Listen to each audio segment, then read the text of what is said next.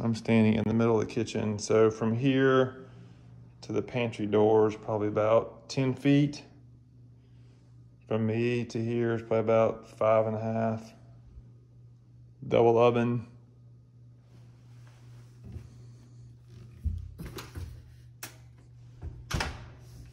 Refrigerator behind me. So I'm standing in the middle of the kitchen.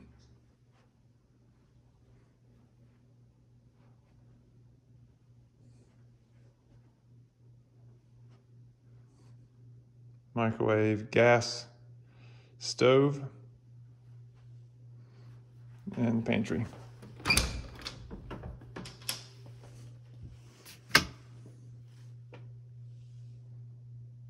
So this is uh, built-in cabinets into the pantry there.